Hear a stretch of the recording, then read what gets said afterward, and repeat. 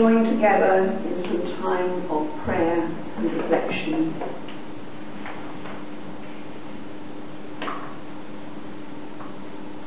Be silent, be still, be serene in this house of the Spirit. Put aside all noises that annoy, all sounds that irritate. Leave behind all the frustrations that belittle, the causes that fret, the troubles that torment. Here you can be at rest. Put away all the plans to be made, things to be done, victories to be won. Here you are at peace. Breathe deeply. Clear the mind of all cluttered thoughts.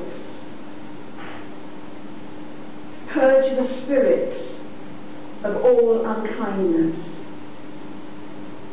Rinse the soul clean and pure. Here you are at home.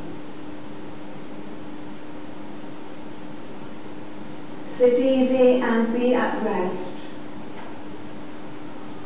Feel your body recover its resilience, your mind its bearings, your spirit its strength. Once again, together, we have come home to the source. We feel the collective power of our companions the warmth of their welcome, the support of their caring. We who have been wanderers, groping for something we know not what, are again at home. Here is the place for us. We are at home in this sanctuary and with these people. We are at home on this globe and with all who dwell upon it.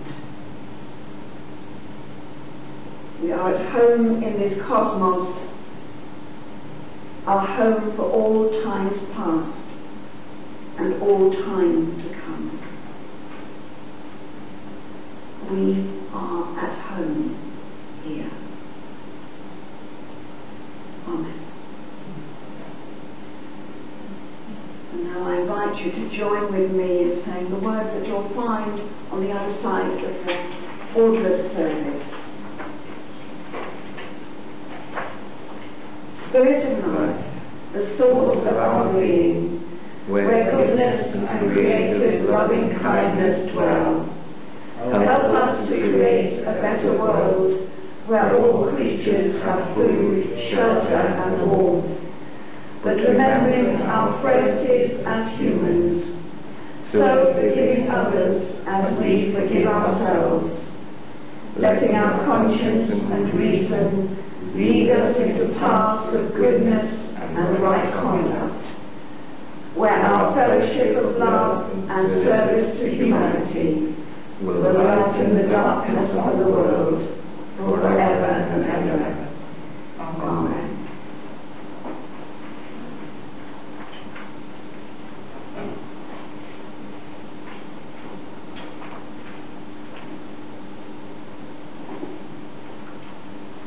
Forgive me if the story that I'm going to use this morning is one that I've already used. Um, I don't think it matters particularly, because stories are always lovely to hear again. But um, you may well have heard it, and I can't remember when I last used it, if I indeed did use it when I was here with you. It's a Buddhist story. It's, um, it's called Two Teachers and Tea, and there are various um, adaptations of this. It's a, a very old wisdom story uh, from a, a beautiful collection simply called Kindness, a treasury of Buddhist wisdom for children and parents. So this is um, based on something that um, was purported to have happened uh, about a century ago in Japan, um, where a, a Zen teacher lived, and his name was Nanin. One day, a university professor came to visit him. And he was very uh, pleased to see this person, and he invited him. Come in, come in, uh, he said. He welcomed the old Zen master, and he he led, um, he led his guest into the tea room, a very special place for a special tea, Japanese tea ceremony. And they sat down across from each other at a small, um, very bare table. And the old master sat in silence, perfectly at ease, perfectly at ease. And occasionally he would smile at the professor warmly, um, uh, other times he just gazed out of the window and looked at the beautiful temple gardens he could see. But it was really, really very peaceful. But the professor who'd come to visit him became increasingly edgy. Um, he didn't like the silence. He squirmed, he fidgeted, he tapped his fingers on the table mindlessly. He kept fixing his eyes on the door from which he expected the, the tea to arrive. And finally, he couldn't bear the silence any longer. Um, and the only thing that came into his mind to talk about um, was a lecture on Buddhism that he'd given to his students. Um, he'd just given them at the university. So he cleared his throat uh, and, and he began a lengthy speech. And the old master Nanin listened and nodded and seemed to be very friendly and appreciative of what was being said, seemed to be understanding the points uh, the uh, professor was making. Um, so he, he, the professor was encouraged by this. He carried on, gained more and more confidence. Because after all, lecturing was his business. And after about half an hour, no tea had arrived. And uh, the professor thought it rather impolite to keep looking toward the door uh, where the tea should be coming from. Um, and eventually, eventually, um, an attendant carried in a tray, a very elegant tray, with a ceremonial teapot on it and two cups for men. And Nanin smiled in his very relaxed way, and in the deliberate manner of a Japanese tea ceremony, uh, he carefully placed a teacup in front of his guest. And then he slowly began to pour the hot liquid into his guest's cup. And he poured, and he continued until the water ran over the cup into the saucer and into his guest's lap.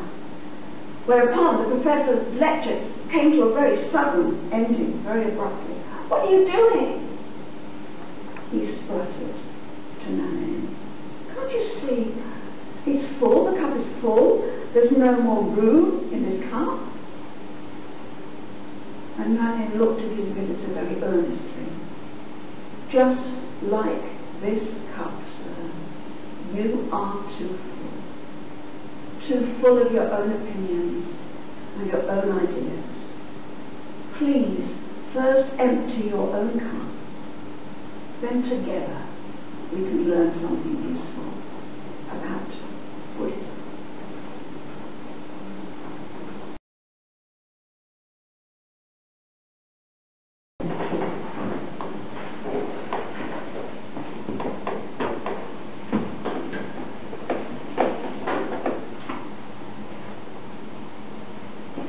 Next reading um, I've chosen from a collection of writings by uh, Professor, philosophy professor A.C. Grayling had the book quite a while. It's called The Meaning of Things.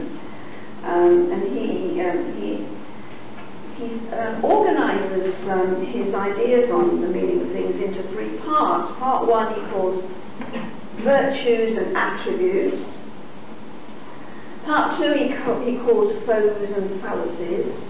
Part three he calls amenities and goods. He's got some interesting labels, if you like, subjects in each of these parts. So part one, virtues and attributes, has got uh, tolerance, mercy, civility, compromise, fear.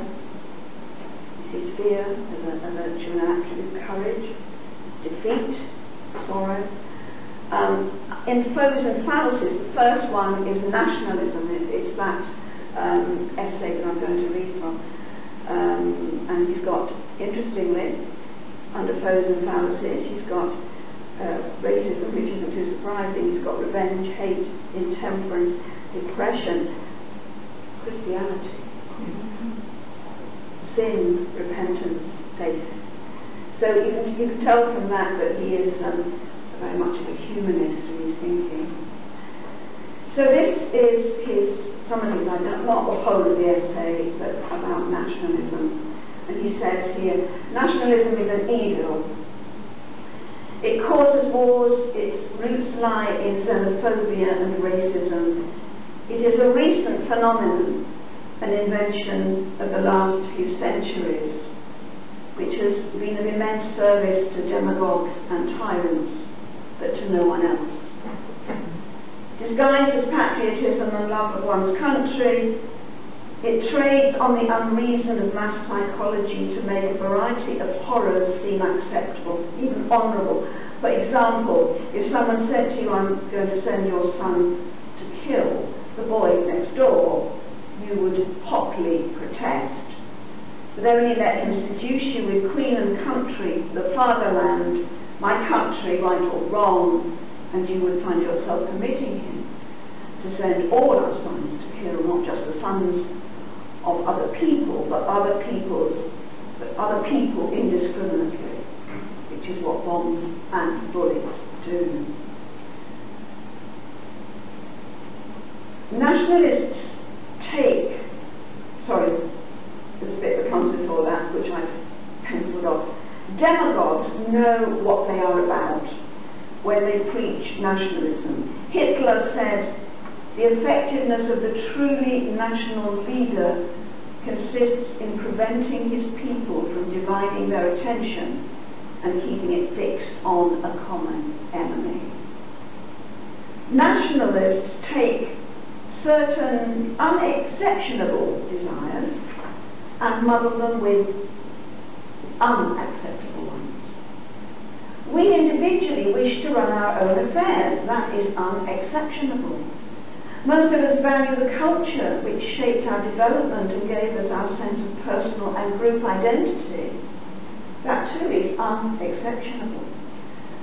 But the nationalist persuades us that the existence of other groups and cultures somehow puts these things at risk, and that the only way to protect them is to see ourselves as members of a distinct collective, defined by ethnicity, geography, or sameness of language or religion, and to build a wall around ourselves to keep out, in inverted commas, foreigners.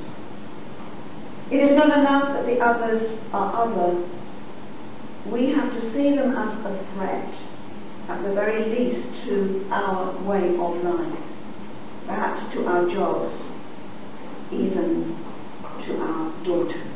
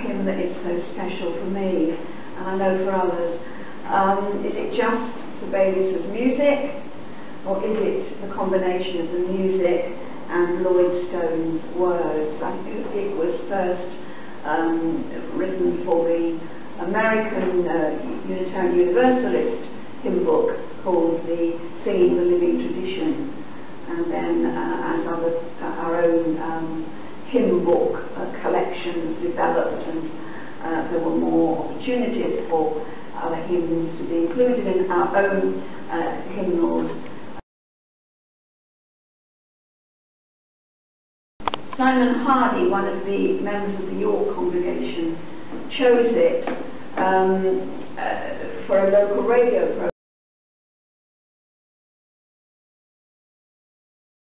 Uh, that, that must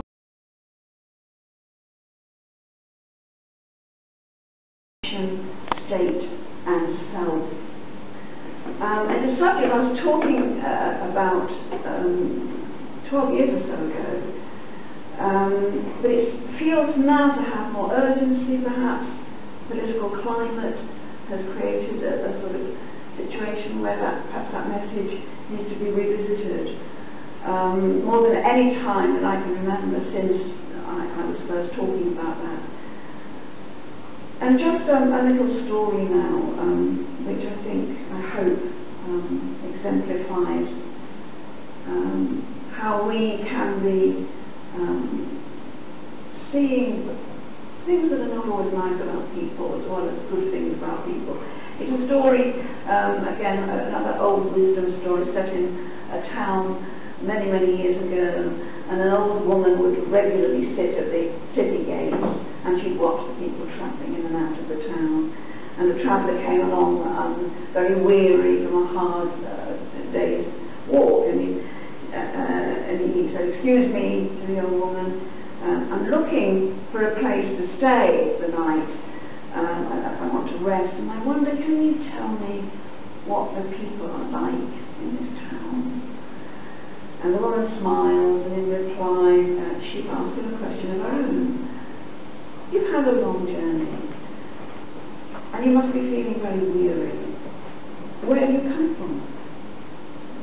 And a little surprised by her question, the traveller told her the name of his town, Manchester. And the woman was interested. Oh, she smiled. And what are the people like in Manchester? Oh, they're awful. You, you, you wouldn't believe how awful the people are uh, in Manchester. They don't care, they're hungry and thirsty, they wouldn't even pass the time of day with you, they're, they're, they're, they're really, really unpleasant people. If you ask for help, they deliberately turn away, uh, send you in the wrong direction, they're rude and unfriendly the extreme. My word, replied the. Replied the old woman.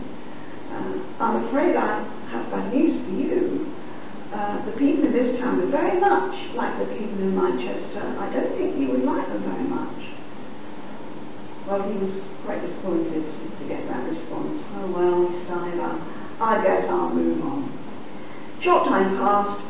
Soon another traveller arrived at the city gates, and he sees the old woman sitting there uh, and uh, uh, smiles and approaches her. And, Excuse me, he said. I'm looking for a place to rest, and, and I wondered, can you tell me what the people are like in this town? And the woman smiled back at him, and again she asked him a question of her own. You've had a long journey, uh, she commented. You must be feeling weary. Where do you come from? I come from Leicester, he told her. What are the people like in Leicester? The woman continued.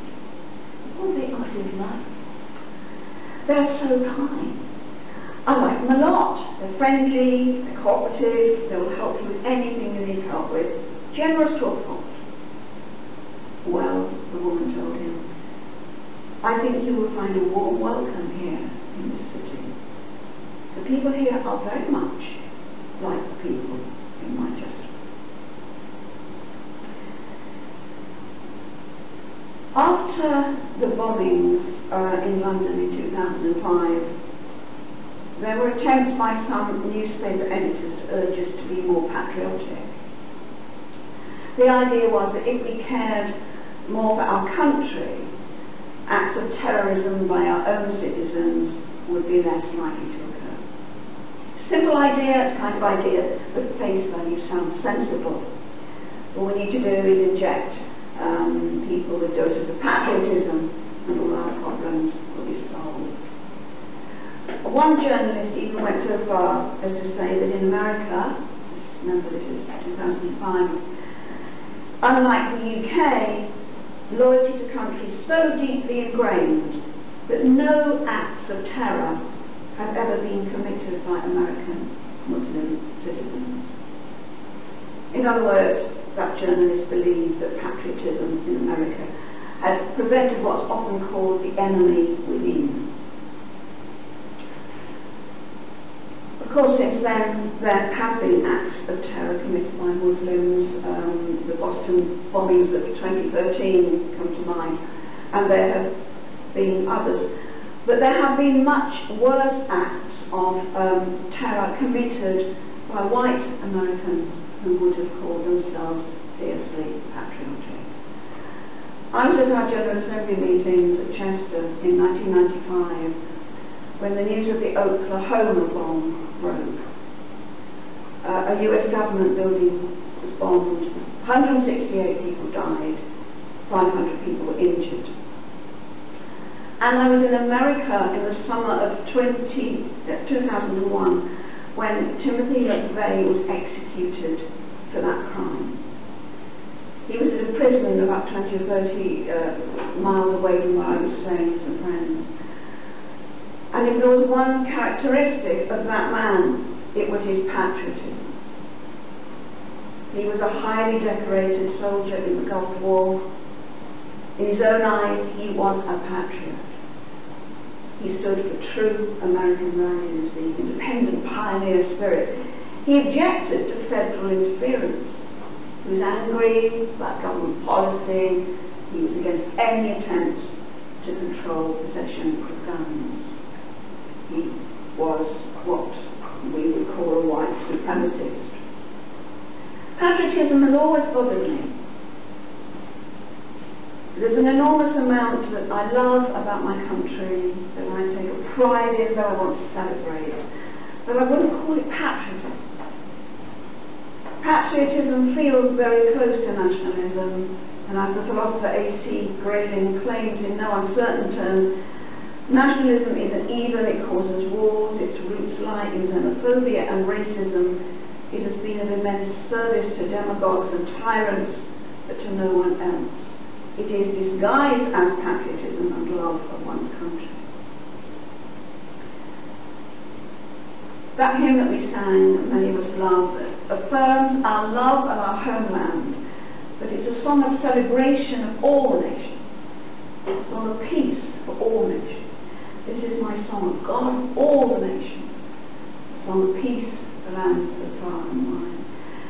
One of those radical things about Jesus' message, which we heard when Helen read from Mark um, um, earlier, um, is his insistence that we should love one another. Again and again, he told us to love one another. Jesus would have called it moving beyond nation, race, and self, he said, Love your neighbour as yourself. And the lawyer in that famous story, the Good Samaritan, asks, And who is my neighbour? Jesus didn't say nationalism is evil. Instead, he told the story that we all know, whether we're Christian or Jewish or humanist or whatever. It's, it's part of our cultural heritage, the Good Samaritan. He told the story about the priest passing by on the other side and the Levite passes by on the other side. But the Samaritan, the despised ethnic Samaritan, is moved by pity. And he doesn't pass by on the other side. He bandages the man's wounds, he puts him on his own animal, he takes him to an inn and takes care of him. And the story demonstrates the message more than any other story in the New Testament, loving our neighbour as ourselves. Jesus didn't live in a global village as we do, where you can reach countries across, across mountain ranges and oceans in a matter of hours. But if he had done, the message would have been the same, I'm sure. Our neighbours are everywhere in the world. He would have said, I think, do not allow your race, your national pride, your sense of superiority to prevent you from caring for others. A new commandment I give you, that you love one another even as I have loved you. And Jesus takes us beyond love of country, beyond love of nation, beyond love of ethnic group. He takes us even beyond the notions that we create about ourselves, beyond the identity we strive for, beyond the ego we preserve. He says, those who try to make their life secure will lose it, but those who lose their life will keep it. Those who lose their ego is what I think he's saying. Those who lose their ego, those who lose their exalted sense of self will keep their life. Many stories uh, from the Buddhist tradition, like the one you heard earlier, are telling us the same thing. The Zen teacher tells his visitor, just like this cup, sir, you are too full of your own ideas and opinions to learn. First, empty your own cup, and together we can learn something useful about Buddhism. And Jesus taught that we must move beyond self in order to find self. Paradox, profound truth. And here's a little story that illustrates it, and one uh, that I'll finish with. Again, a wisdom story. No idea where it came from, who wrote it. Just one of those stories that gets circulated. A salt doll journeyed for thousands of miles over land until it finally came to the sea. it was fascinated by this strange, unlike anything it had seen before. What are you? said the soul doll. The sea smilingly replied, Come in and see. So the doll waded in, and the farther it walked into the sea, the more it dissolved, until there was only very little of it left. Before that last bit dissolved, the doll exclaimed in wonder, Now I know what